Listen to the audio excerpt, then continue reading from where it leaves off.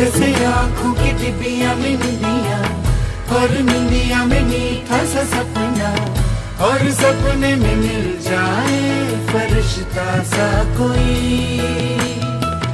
जैसे रंगों भरी पिचकारी जैसे तितलियाँ फूलों की क्यारी, जैसे बिना मतलब का प्यारा रिश्ता हो कोई।